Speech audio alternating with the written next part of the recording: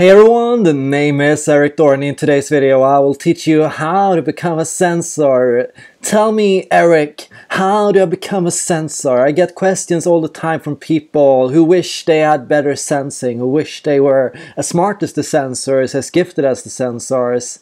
Um, maybe not actually, but to this, the thing is, like intuitives have a lot of bias against sensing, and uh, their experiences and how they describe sensing tends to be extremely biased and prejudiced and limited. And this video will challenge some of those assumptions.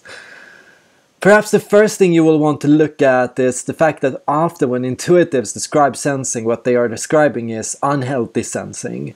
Often we carry a bias in which we look at sensing from what it is at its worst rather than what it is at its best. And that's pretty normal. When a feeler describes a thinker, they tend to describe it from what the thinker isn't rather than from what the thinking person is. When a thinking person describes a feeler, it is based on what they are not rather than what they are. We tend to focus more on other people's flaws rather than their strengths, especially when we don't understand it. And this video is about understanding it. It's about understanding your sensing, your own sensing, and understanding sensors. And it's about the question, can I become better at sensing? Can I become a sensor and how do I become a sensor?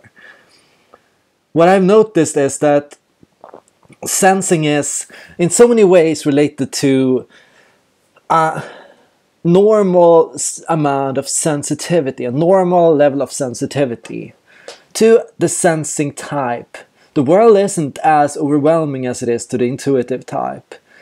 Where the intuitive type tends to describe details and experience and bright lights and strong sounds and touch and things like that as overwhelming or draining or tiresome, when intuitives tend to talk about needing to retreat to a dark room, or when intuitives tend to skip over details, jumping from plan to plan, jumping over and avoiding data points, uh, when intuitives talk about sensing often, it strikes me how shallow intuitives can be. Like, it's true, like, we tend to describe sensors as shallow and superficial, but in one from one point of view, isn't it the, the intuitives that can be prone to shallowness? Because intuitives tend to often skip above a few leaps aren't intuitives the ones that are the most prone to prejudice and to generalizations, to stereotypes, and to fickle or, in many ways, um, to jumping conclusions?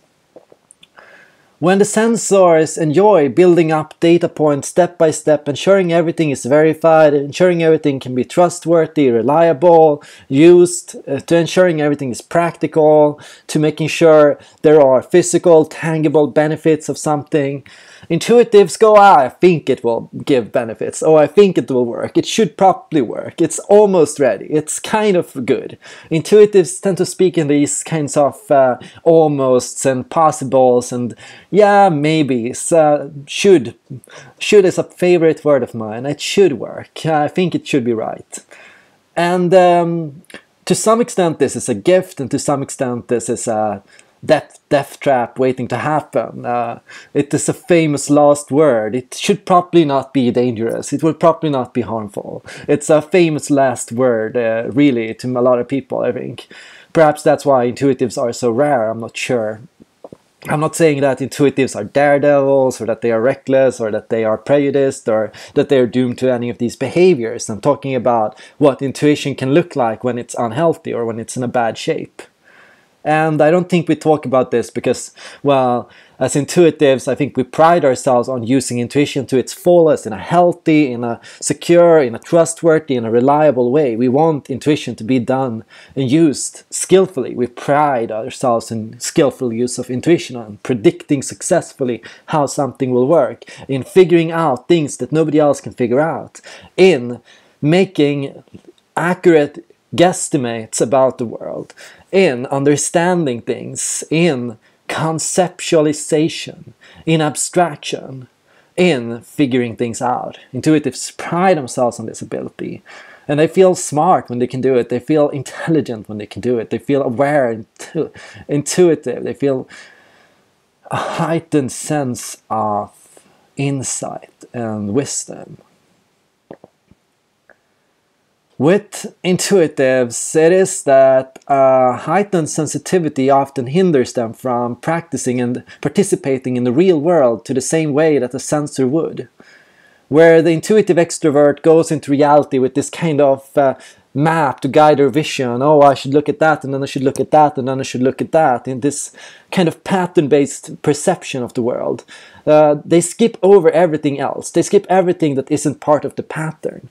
They are so focused on the next pattern and the next pattern and the next pattern that they ignore everything outside of it. And they do of course, because, well, for the extrovert intuitive, the world around them is slightly overwhelming. To the extroverted sensor, the world around them is in itself interesting. Everything about the world around them is interesting. Everything around them is fulfilling and meaningful. The extroverted sensor goes, Oh, the sunshine is amazing. Oh, I love the blue skies. I love a contrast. I love being here in this space. I like this party. I like the people here. the intuitive extrovert, they go, they, they, they only see the things that are possible. They only see this possibility and the next possibility and the possibility after that. Sometimes forgetting it to live in the moment. Well, actually, intuitive extroverts can live in the moment, but only the moment that they envision, only the possible moment, only the part of the moment that their eyes want to flow into. When there is no pattern to guide their vision, they get stressed out, rattled, anxious. It's uh, to them it's draining to be in an, an environment, but to have nothing to do in it, to have no things happening, to not know what you're doing in it. Uh, they need to have an idea of where they are going into. They need to see these threads and these possibilities coming up. Because without those possibilities, without their imagination, which is so important to the intuitive, the intuitive cannot function.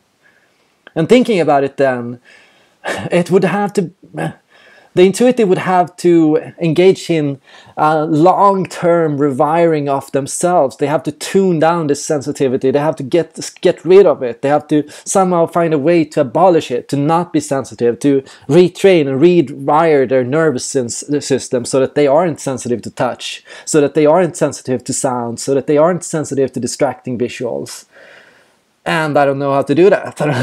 I don't know how if that's possible. I've never seen an intuitive do it. I've never seen an intuitive go from being an intuitive to being a sensor, even if they tried. So how do you cope with it? How do you deal with it as an intuitive? How do you pretend to be a sensor? How do you survive as a sensor? Really, the best answer here is you use your intuition. Uh, we tend to say, as INFJs and ENFPs, talking about sensing, oh, yeah, I was developing my extroverted sensing, so I went to the gym. Oh, I was practicing my introverted sensing, so I was looking at old pictures. Uh, but what gives energy to the intuitive in sensing is the possibilities in it. Without the possibilities of it, without the patterns in it, without the connections made by it, it gives nothing. So the obvious answer here is to get value from sensing as an intuitive, you have to go from intuition into sensing. You have to use intuition to guide your vision, to guide where in an environment you look, what you look for in your environment, how you look at old memories, how you use healthy nostalgia, how you use reminiscing, what you use it for, how you connect it to your current experience, your current life, and to who you are now, how you connect the dots between the past years and of you, your past relationships, uh, your past experiences, photos of people, and who they are now and what's happening now. That's how an ENFP and ENTP gets a kick out of the past. It's not that they are having a trip into introverted sensing, it's that they are taking the bus that is extrovert intuition. Sorry, the spaceship. Sorry, the unicorn. No, sorry, I shouldn't use that metaphor. It's uh, rude. Um, the spaceship uh, that is extrovert intuition and going into introverted sensing and exploring it from this. Uh, uh, spyglass, looking at it from this extrovert intuitive vision channeler. Sorry, I'm properly alienating the sensors now. Uh, truth is, there is a heightened amount of physicality to sensing. It's a literality, it's a tangibility. Sensors are and need something to touch, something to see, something to hold. And what I'm telling you about the intuitives, that issue that gets them from, st stops them from being sensors, that stop them from living in the present, exists for sensors too. Sensors similarly are sensitive to ideas. Sensitive to ideas in the sense that to them, an idea, to an intuitive, an idea is just a hypothetical, it's just an idea, it's just a possibility. an intuitive has so many possibilities, so many ideas, so many visions, so many theories. The sensor, to the sensor, an idea is so much more real. To the sensor, your ideas, your impressions, your thoughts, your possibilities are so much more intense than what they are to you as an intuitive. To you, uh, uh, to the sensor, intuition can freak the fuck out of you. it can, seriously, like uh, intuition, impressions, ideas can scare the hell out of you as a sensor. And that's because for you, it's uh, when you hear an idea, when you think of or imagine yourself uh, dating someone or playing a video game or doing something, that idea plays tricks on you in a sense, and that's um, it's in the it plays tricks on you in the sense that it feels so real to you as a sensor. Intuition feels so real, so important, so tangible, and um, it is harder in that sense for the sensor to tell the difference between this idea world and reality. And it is also that sensor is perceived as idea world as draining, tiresome, burdensome. These hypotheticals, these what unexplored what ifs, are heavy, uh, heavy in themselves, because to the into uh, to the sensor, they uh, they carry an intensity that the intuitive doesn't have to deal with. The intuitive experience lightness in intuition. They go into when in the intuition the intuitive catches into flight. They feel lighter. They move on more likely with more energy, with bubbliness, with enthusiasm. But when the sensor goes into intuition, it's like putting on an extra backpack, putting on weight pads on your arms it's like these ideas, these thoughts, these possibilities weigh you down. And it's hard to envision that as an intuitive. It's hard to know, understand what that feels like. I think often, and I want to return to this point that I started with in this video, that intuitives don't really see sensors. They don't really understand sensors. They don't get sensors. What they get is disillusioned intuitives they look at disillusioned, bitter intuitives and they think that these people are sensors, when in reality they are often intuitives burdened by the weight of sensing, lacking in vision, lacking in ideas, overwhelmed by the world. They are looking at these overwhelmed intuitives and thinking, oh, that's a typical sensor. They are bored, they are draining, they are tiresome, they are annoying to be around, they are always uh, so rigid and nitpicky. That's not the real sensor. The real sensor finds energy, awareness, insight, pleasure, thrill, clarity, enthusiasm in sensing. They are happy in sensing. They are enriched by sensing. They are lightened up by sensing they find fun in physicality. They put the, they put the energy into it. They get lightness from it. They find their wings in it. And a sensor getting their wings is a sensor going into sensing. And um, this is important to recognize because it means everyone has a different way to get energy. Everyone has a different way to get influence, and the core goal here is to get influence. The core goal here is to get out of the autopilot. I've said it before, and I must say it again the sensor is not a zombie as often portrayed.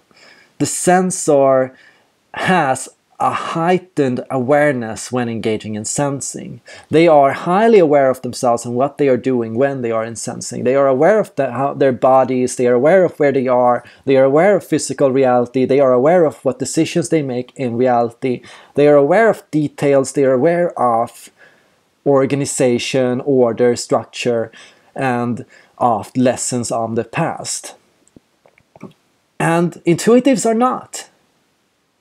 When intuitives go into sensing, that's when they go into autopilot. When sensors go into intuition, that's when they go into autopilot. An idea freaks out, freaks them out, drains them, bores them, weighs down on them until they lose their energy and their concentration and their focus, and their eyes go mole, and they go into this monotone voice, and they enter this hypnotic version of themselves, and that's the static mindset, the autopilot that we are all at risk of falling into. And um, the key goal to getting out of autopilot, the key goal to getting a more active mindset is tuning into your interests. At the core of it all, intuition or sensing is your core interest or passion, your hobby. And if you know if you're a sensor, then you know what your hobby is. Then you know what you should do to get energy from your life. Then you know what you need to do. You need to find ways to go into sensing and from sensing, from practicality, from physicality, from real existence, from your body, from action, from sports, from lifestyle, real lifestyle, real life going into intuition, using sensing as a shield to put the fun in intuition, using sensing, using practical physical reality to explore ideas, to explore possibilities, rather than putting on the brakes, tuning out of your dominant motor, your engine that is sensing, to, uh, and uh, taking the back door and walking all the way into intuition and trying to hardwire and rewire yourself until you become an intuitive or until you get this gift. That's not how you get it. If you want it, you can get it, but you have to be yourself to get there. That's the point of my video. I hope I made myself clear. I hope that this video helped understand, helped you understand sensors better. If you enjoyed this video, leave a like, share, and thank you all for watching.